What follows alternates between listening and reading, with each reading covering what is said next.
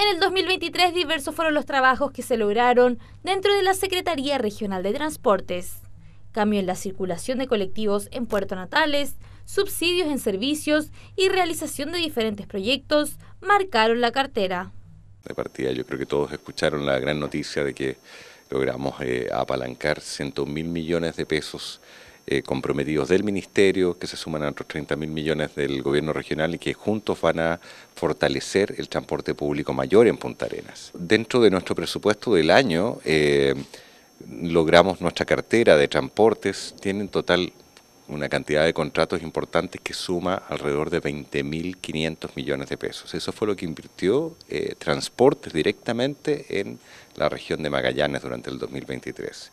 Y ahí tenemos muchas, eh, muchos adelantos, eh, como por ejemplo cada uno de los contratos nuevos que íbamos firmando. Importantes avances en 2023 que se espera sigan creciendo en 2024.